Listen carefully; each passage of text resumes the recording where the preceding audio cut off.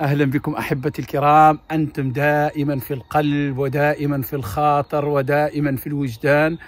دائما أسعد بمتابعاتكم أسعد بانتقاداتكم الراقية أسعد بآرائكم الواعدة والراشدة أسعد بكل ما تكتبونه. طبعا كلامي على الذين يتفقون معنا برقي وتحضر ويختلفون معنا أيضا برقي وتحضر أما الغوغاء فلا مكان لهم. في أفكارنا ولا عقولنا حتى وإن كان لديهم حضور في صفحاتنا الافتراضية. شكرا لكم جميعا. السلام عليكم.